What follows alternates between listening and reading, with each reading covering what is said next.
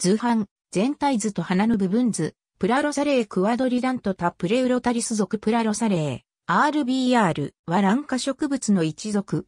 熱帯アメリカに極めて多くの種がある。花は地味なものが多いが、その形態は非常に多様。多くは着生植物になる草本。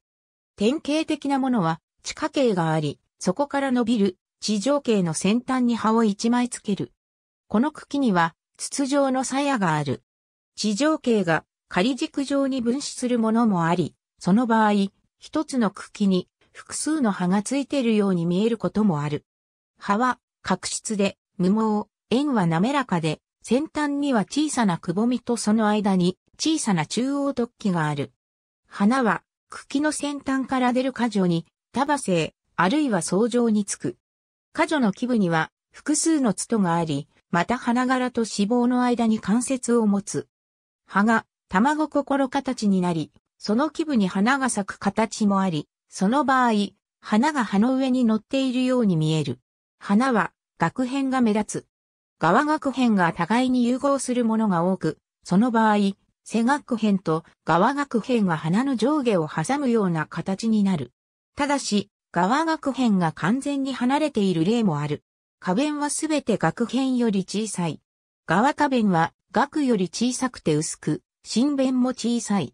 髄中は棒状だが脚部が伸びて目立つ。花粉塊は2個で、老質、柄はない。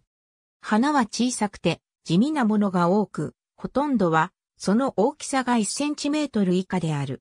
新弁と髄中の脚部の間に節があり、この部分で揺れ動くものもあるが、しっかり融合しているものもある。学名は、プラーランが肋骨、サローズが枝を意味し、この属のものの多くが地下茎から束になって出る茎の先に葉をつけることからの命名とのこと。フロリダ半島以南の北、アメリカから熱帯アメリカにかけて分布する。産地に多く、特に雲霧林には種類が多い。樹状に着生するか頑丈に生育し、ごく一部は地上生。